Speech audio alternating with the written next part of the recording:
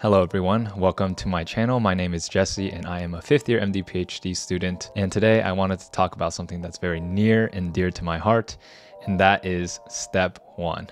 I actually took step one about three years ago and I was lucky enough to be the last group of student to take the test scored.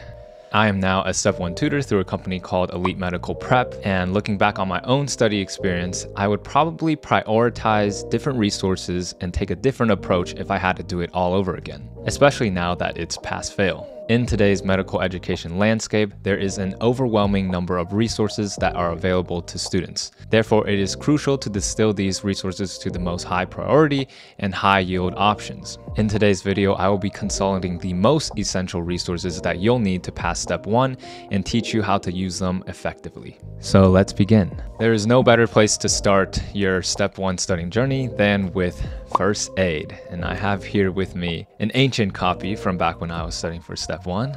Just brings back so many memories, so many fond, fond memories.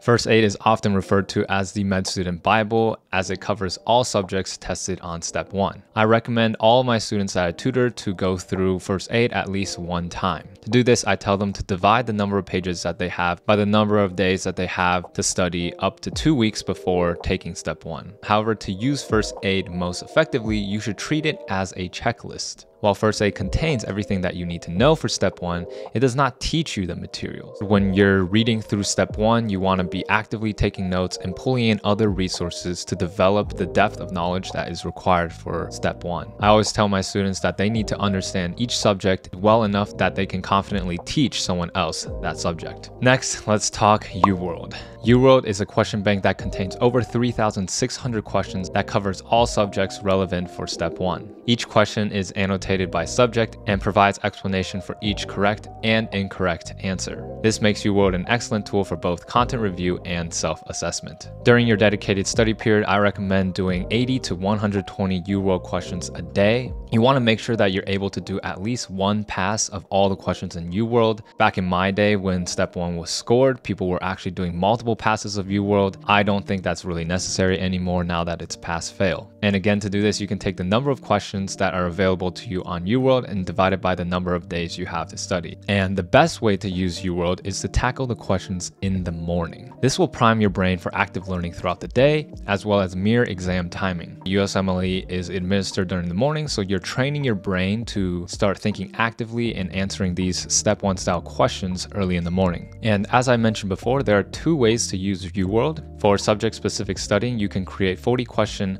untimed blocks that are filtered by the subject that you're either reviewing or studying that day or from the day before. As a self-assessment tool, you want to create 40 question time blocks to be completed within 60 minutes. This will mimic a block on the step 1 exam and will help sharpen your test taking skills. It is then crucial that you spend at least an hour going over all of your incorrect and correct answers. The explanations for UWorld are very well written and do a really good job of teaching test taking skills as well as content. So in order to take full advantage of the UWorld question bank, you want to spend significant time going over all of your blocks. The next resource that I want to cover is Pathoma by Dr. Sattar. Pathoma is a video lecture series that covers all of the fundamentals of pathology, which forms the basis for understanding almost all diseases of the body. Mastery of the fundamentals of pathology will enable you to answer up to 60% of step 1 questions. I also want to mention that chapters 1 through 3 are particularly important, so spend extra time